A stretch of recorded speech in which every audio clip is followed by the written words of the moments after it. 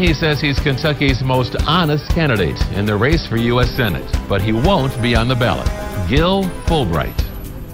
Gene, he's more affectionately known as Honest Gil, and he says he's running for United States Senate, but doesn't care anything about you, Kentuckians.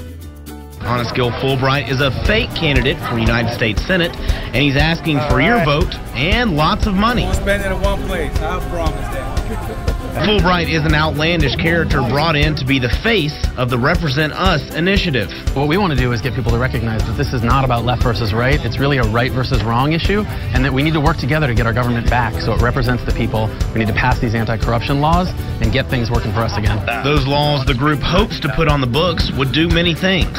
And what that looks like is stopping lobbyists from bribing politicians, uh, stopping conflict of interest, passing ethics laws, all in one anti corruption package. And if we do that all over the country, we'll start to put po- uh, pressure on politicians in Washington so they actually have to change the rules. As for Gil, he's got something to say to Senator Mitch McConnell and Alison Lundergan Grimes. Do not make any attempt to fix this beautiful and lucrative broken political system we got going here.